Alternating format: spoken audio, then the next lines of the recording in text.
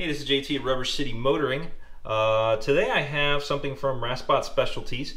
If you look back at the previous videos, he made the door pulls for the Impala, and he also made those like armrest saver things that drop in there and they, they bolt down to basically save the rubber on your armrest. This is the radiator cover that replaces the factory plastic one. And if you look, he gives you everything with it. Bolts, some uh, spacer slash trim pieces. Normally, I'd say this wouldn't be my cup of tea. Uh, if anything, I'd buy this and I would make it just plain black or gloss or, you know, satin like this. But we kind of got to talking and he was able to put Rubber City Motoring on it, which is so crazy cool. He did tell me that my Hotchkis brace is going to fit over this no problem. So fingers crossed, there's no issues with that. So with that being said, I'm going to get this going here. I'll show you how to take the stocker off and uh, we'll get this one on. It's a pretty easy job from the way it looks here. So here we go.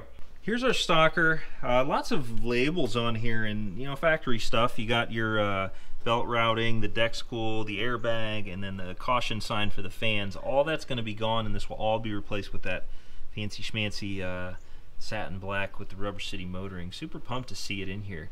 What you need though to take this out, these are 10 millimeter bolts. There's four of them and you just undo them and, and that's it. I would save them because you're gonna use the new hardware that he gives you.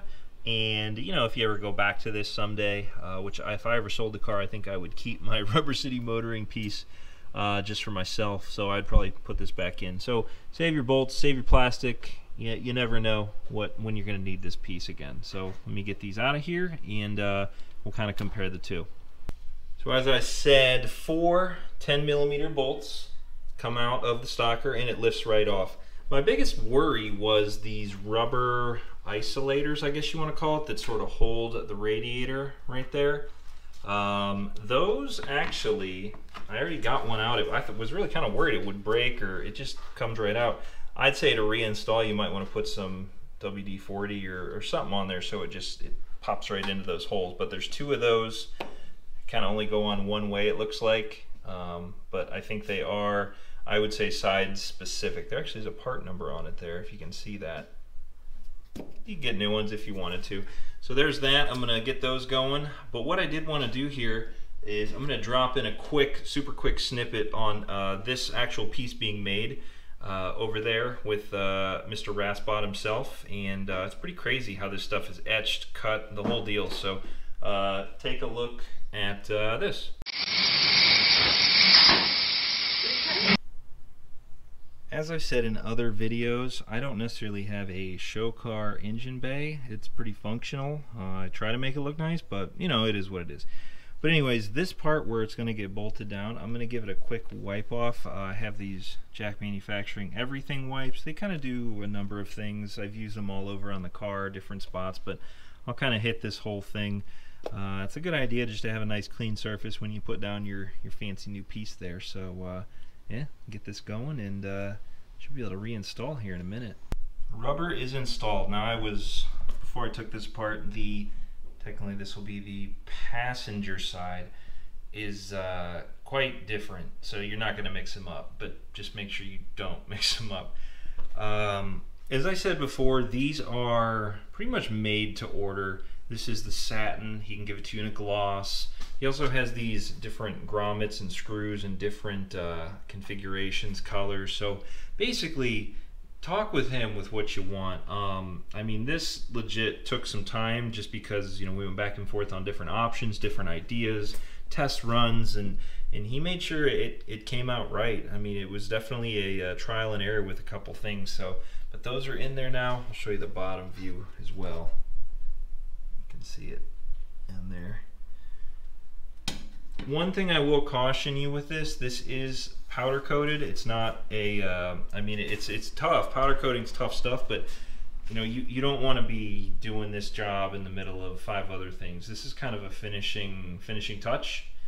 Um, so, you know, I'd say make sure your hands are clean, make sure you don't have tools sitting around. Just be very, very careful with this. I'm going to actually um, test fit it up there and then kind of work into my, my screws after that. Um, these are just an Allen head screw that get turned in with the grommets and you're gonna appreciate these holes that are oval shaped instead of all circle. And they are like that on the factory too, but at the same time, that's a little, I'd say, a touch that you're only gonna get when somebody knows what they're doing. He perfectly matched the oval up there to the oval here. Oval here, oval here, but oh my gosh, look, a circle here and a circle up there, and then an oval on the end. So those ovals definitely give you a little wiggle room, but at the same time, it's crazy that he perfectly aligned it to how the factory was. So it should go right on. So we'll see here what we got.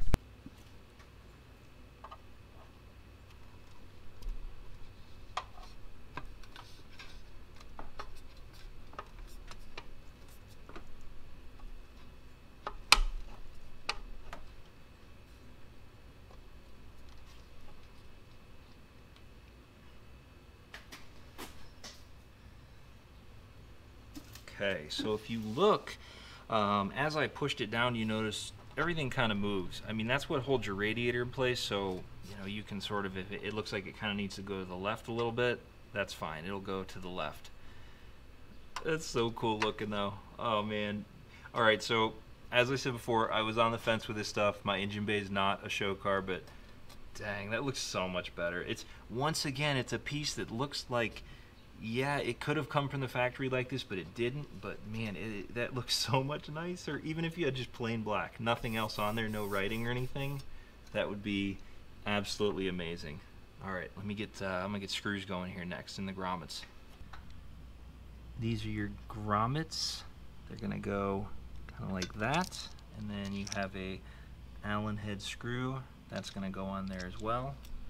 I don't know about you guys, but I use my coolant reservoir is my bolt holders more often than not. I feel like we need one of these with a little tool or bolt holder built in for these cars. Alright, so you basically get it in there and then you finger tighten it. Be smart with this, don't cross thread, don't over torque. Just kind of do it right. Take your time with it. This is a non this is one of those non-rushing jobs.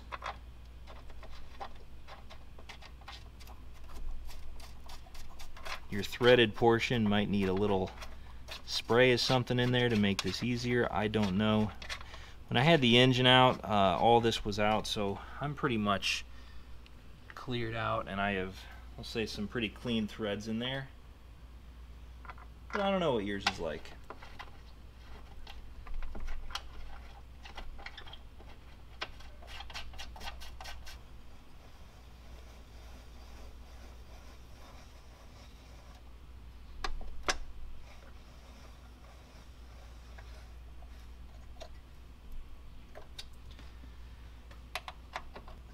Now with these, I wouldn't Gorilla Torque them. You can see as you get down there, the grommet starts to spin. And right about there, that's all I do. If you're real crazy, that one hits right there. If you're real crazy, you could put a dab of Loctite. I don't know who's that crazy, but you could if you're worried about this. There goes the grommet starts to spin. Let me set this on here just right. And that's pretty much it. Last one is this closest one to you. It goes a little bit below flush, it seems, into that grommet. The grommet starts to spin.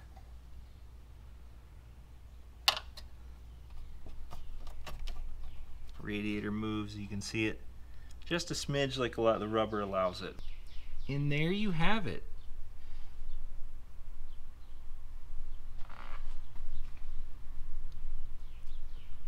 I will say that was super, super easy to do. The rubber things, as I said, were my, my biggest worry. Like, oh, are they going to come out easily? They popped right out. This thing fit perfectly, no issues. That's legit. Let me back up and show you here. Avoid everything else that's ugly and just focus on that well other than the 383 that's running pretty good now everything else that's going on but oof I will say he's done it again you seriously have and I want to show you real quick what I'm talking about when it means just looking like it should have from the factory. So like I said, these are his door pulls. I went with just plain black. There's a video, I'll link it below, of me putting these on. And then there's the armrest saver inside there. Gosh, it's just so cool. I just can't get over this stuff. It's I don't know what else he can come up with, but whatever he's gonna come up with is gonna pop. It just looks so much cleaner and nicer on these cars. So hats off to you, man. Amazing, amazing part up there. And these are cool too. Engine bay brace installed. It does touch. Well, no, actually it doesn't. I thought it would touch right there. I don't think it does. So when I asked him, I said, is this going to work with my engine bay brace? Because you can see it clearly, it overlaps. He said, oh yeah, it'll work perfectly. I was worried, but doesn't seem to hit. So that's super cool. So there we go. All done, bolted up, good to go.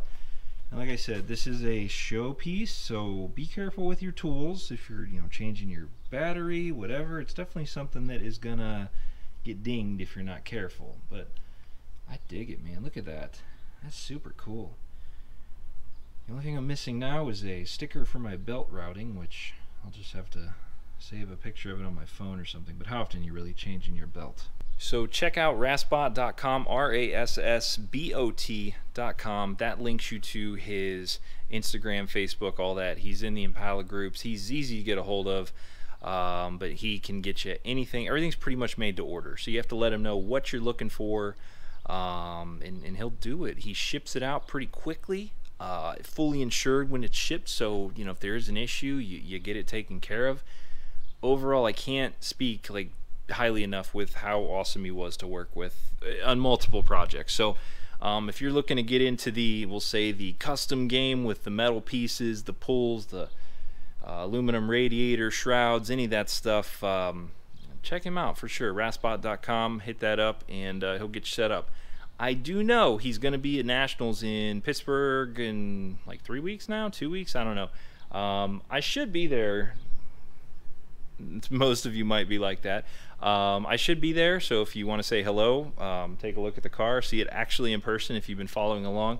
Uh, more than welcome to say hi, but um, and including the shroud. That's you know kind of why I rushed to get this on there. I wanted to have it there to show everybody and also um, actually uh, meet um, the creator, Mr. Rassbot himself. So uh, yeah. All right, thanks for watching. RubberCityMotoring.com. Check that out for more. Subscribe to this channel if you want more on this car. Um, if you notice back there, my garage is going through continued rehab to make it a better place to work, to film in. Um, should have a more, we'll say, studio feel uh, to it once I get kind of everything painted, put up, uh, that whole thing, because it is kind of somewhere I spend a lot of time and I want to make it nice and nice to look at on camera too. So, all right, take it easy. Thanks for watching.